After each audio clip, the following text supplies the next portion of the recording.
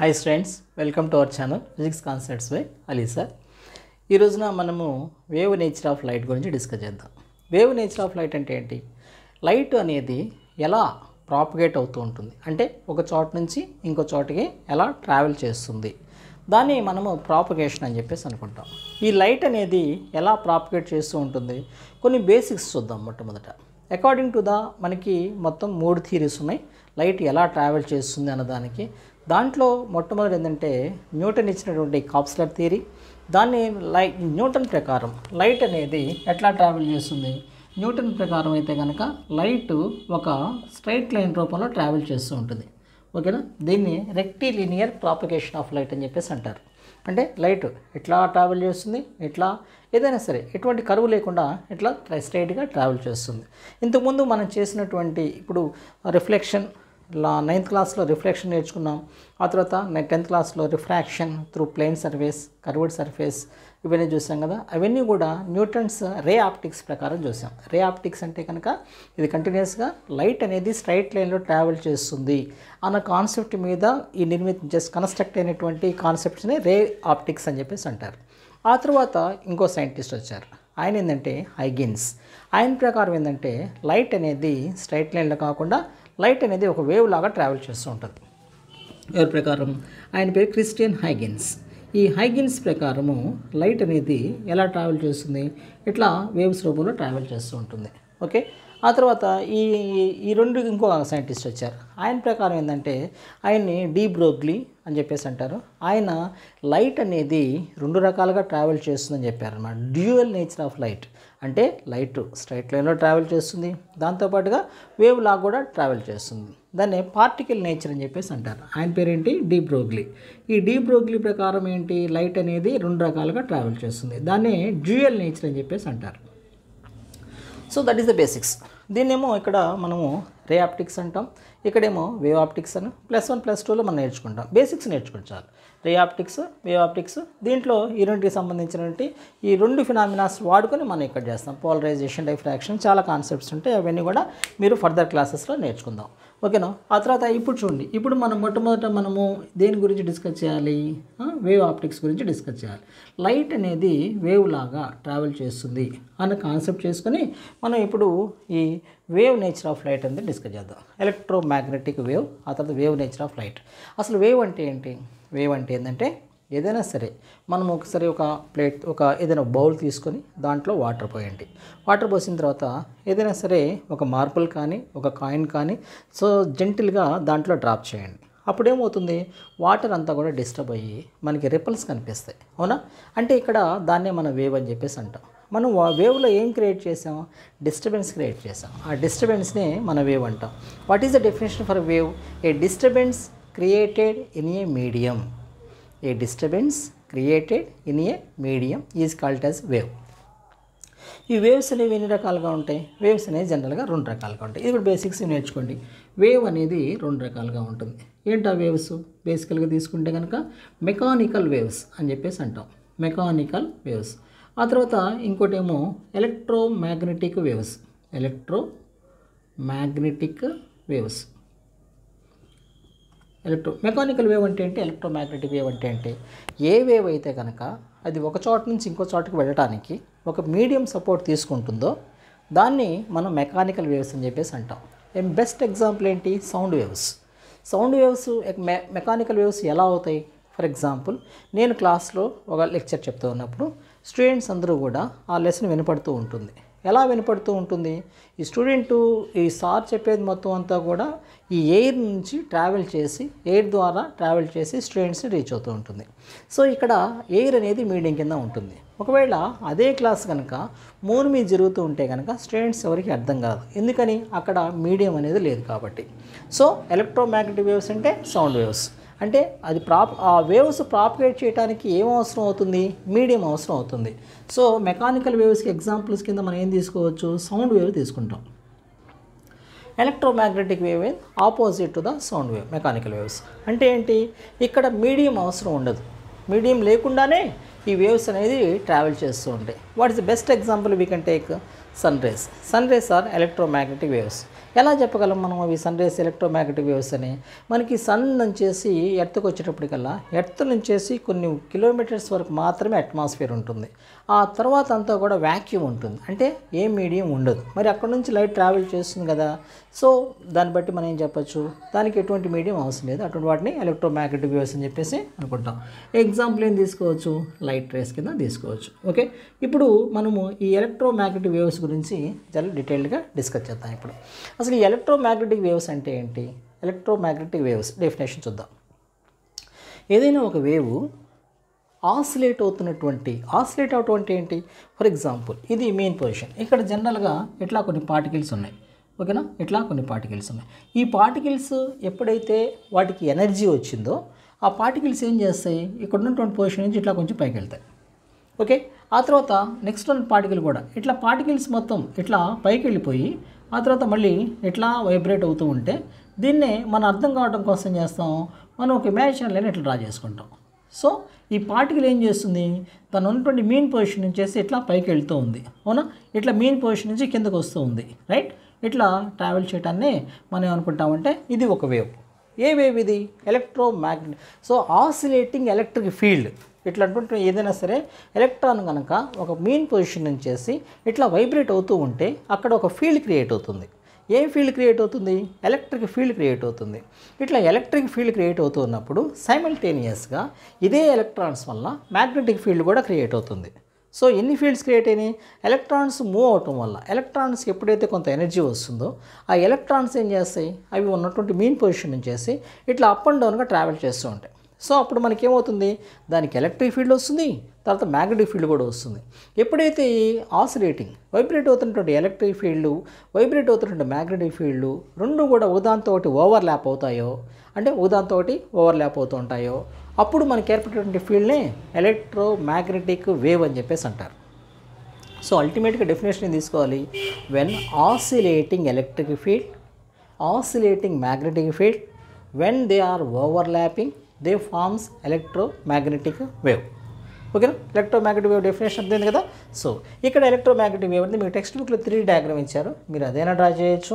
లేకపోతే ఏదైనా డ్రా చేయొచ్చు. ఓకే మీకు ఏది కంఫర్టబుల్గా ఉంటే అది డ్రా చేసుకోండి. ఇది most important many times ఆస్క్రీమ్ draw electromagnetic wave and write its properties మనం ఇప్పుడు దాన్ని డిస్కస్ చేద్దాం. చూడండి ఇంతకుముందు ఏం చెప్పాను? Oscillating electric field main position నుంచి యారో మార్క్ పైకి ఉంది యారో మార్క్ పైకి ఉంటే దాని మీనింగ్ ఏంటి? ఇది వైబ్రేట్ అవుతుంది అన్నట్టు ఓకే? మీన్ పొజిషన్ నుంచి స్పిట్లో వైబ్రేట్ అవుతుంది. ఎలక్ట్రిక్ ఫీల్డ్ అన్నిటిని ఈ బార్ అని లెటర్తో ఎక్స్ప్రెస్ చేస్తాం. ఎలక్ట్రిక్ ఫీల్డ్ని ఈ బార్ అని లెటర్తో ఎక్స్ప్రెస్ చేస్తాం. మరి మ్యాగ్నెటిక్ ఫీల్డ్ని మ్యాగ్నెటిక్ ఫీల్డ్ కూడా ఉంది కదా? ఎలక్ట్రోమాగ్నెటిక్ వేవ్ అనేది ఎలా ఏర్పడుతుంది? ఎలక్ట్రిక్ ఫీల్డ్తో మ్యాగ్నెటిక్ ఫీల్డ్తో రెండింటితో కంబైన్ అవటం వల్ల మ్యాగ్నెటిక్ ఫీల్డ్ ఎలక్ట్రోమాగ్నెటిక్ ఫీల్డ్ అనేది ఏర్పడుతుంది. సో ఇక్కడ నుంచేసి కిందకు వచ్చేప్పటికల్లా మ్యాగ్నెటిక్ ఫీల్డ్ ఉంటుంది. ఆ తర్వాత ఈ మ్యాగ్నెటిక్ ఫీల్డ్ ఇట్లా. ఇది ఎలా వస్తుంది? అంటే కనుక ఇక టైం సేవ్ చేయడం కోసం నేను ముందు డ్రా చేశాను. ఇట్లా జనరల్గా ఇది ఎలక్ట్రిక్ ఫీల్డ్. ఓకే? ఇది ఎలక్ట్రిక్ ఫీల్డ్ ఈ బార్ అని చెప్పేసి అనుకుంటాం. ఎలక్ట్రిక్ ఫీల్డ్ని ఈ బార్ ఇది ఒక వెక్టార్ అందువల్ల e ఈ బార్తో ఎక్స్ప్రెస్ చేస్తాం. ఇట్లా ఇదేమో మ్యాగ్నెటిక్ ఫీల్డ్ ఇదేంటి? ఇది బీ బార్ సో ఈ విధంగా మనకి మ్యాగ్నెటిక్ ఫీల్డ్ ఇట్లా మనకి యారో మార్క్స్ చూసారా?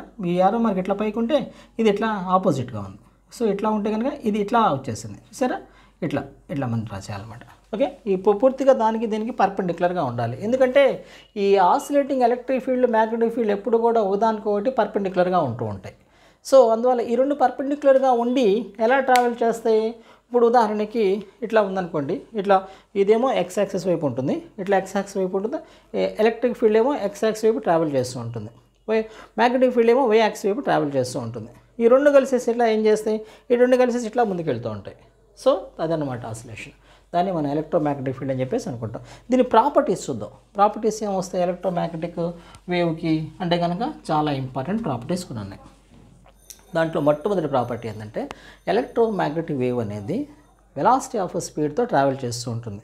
అంటే స్పీడ్ ఎంతైతే స్పీ లైట్ ఎంతైతే స్పీడ్తో ట్రావెల్ చేస్తుందో light speed three into ten for eight metres per second. అంతే స్పీడ్తో ఈ ఎలక్ట్రోమాగ్నెటిక్ వేవ్ కూడా ట్రావెల్ చేస్తూ ఉంటుంది. ఓకే? అండ్ సో చాలా ఇంపార్టెంట్ ప్రాపర్టీ అనమాట ఇది. What are the properties it travels with speed of light అంత స్పీడ్ ఆఫ్ లైట్ ఎంత ఉంటుంది త్రీ బాగా ఇంపార్టెంట్ ఇది. Three into ten power eight metres per second. Electromagnetic waves are travelling with the speed of speed. The travelling with the speed of light. Light speed ఎంత? Three into ten power eight metres per second. ఆ తర్వాత ఒకవేళ ఇది ఇట్లా travel చేస్తుంది అనుకోండి దాంతోపాటుగా మళ్ళీ దీని ఇంకేదైనా ప్రాపర్టీస్ ఉన్నాయా? It doesn't require any medium for propagation so no medium requires no medium require no medium require. ఆ తర్వాత చాలా ఇంపార్టెంట్. మరి ఒకవేళ ఈ ఎలక్ట్రోమాగ్నెటిక్ వేవ్స్కి ఏమైనా ప్రాపర్టీస్ ఉన్నాయా? ప్రాపర్టీస్? ఇంకేం ప్రాపర్టీస్ ఉన్నాయి? అంటే కనుక మన ఇక్కడ వేవ్ లెంగ్త్ చూద్దాం. ఇక్కడ ఉన్నటువంటి ఆసిలేటింగ్ ఎలక్ట్రిక్ ఫీల్డ్ ఉంది కదా ఈ ఆసిలేటింగ్ ఎలక్ట్రిక్ ఫీల్డ్కి ఆ తర్వాత నెక్స్ట్ ఎలక్ట్రిక్ ఫీల్డ్కి మధ్య ఉన్న డిస్టెన్స్నే ల్యాండా అని చెప్పేసి అంటారు. ఈ ల్యాండా అంటే ఏంటి? Wavelength. Wavelength. Wavelength అంటే ఏంటి? Distance between two continuous waves is correct as a wavelength length of the wave ఒక వేవ్కి ఇక్కడ నుంచేసి ఇట్లా వచ్చేసిన తర్వాత మళ్ళీ ఇక్కడికి వచ్చిన తర్వాత వేవ్ కంప్లీట్ అవుతుంది.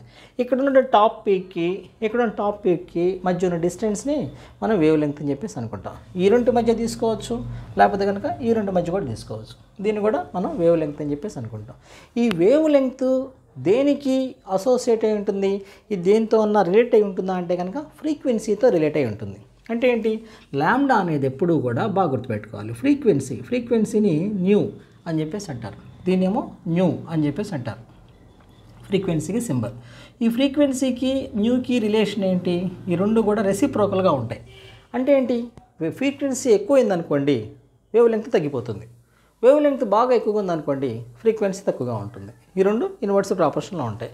సో మనకి ఇక్కడ ఈ ప్రపోర్షనాలిటీ తీసేయాలంటే మనం ఏం చేస్తాం? ఒక కాన్స్టెంట్ వాడుకుంటాం. Lambda is equal to C into one by nu. దాన్ని మనం ఇంకెట్లా రాసుకుంటామంటే lambda is equal to C by nu. అల్టిమేట్గా C is equal to nu lambda చాలా పాపులర్ ఇది.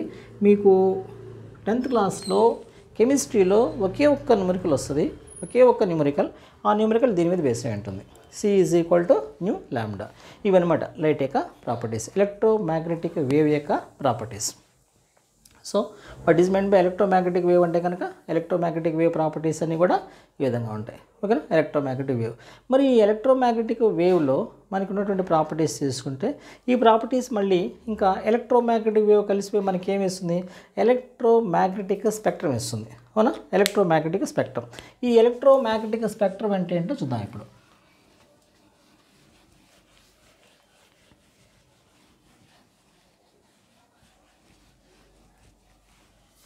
జస్ట్ వన్ మూమెంట్ అన్న.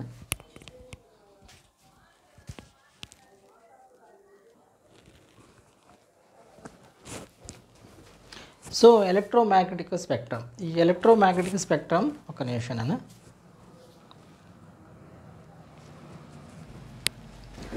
సో మనం ఇప్పుడు ఎలక్ట్రోమ్యాగ్నెటిక్ స్పెక్ట్రమ్ తీసుకుందాం. ఈ ఎలక్ట్రోమ్యాగ్నెటిక్ స్పెక్ట్రమ్ అనేది చాలా ఇంపార్టెంట్ దీంట్లో మనకి మొత్తం నాలుగు బిట్స్ వస్తాయి.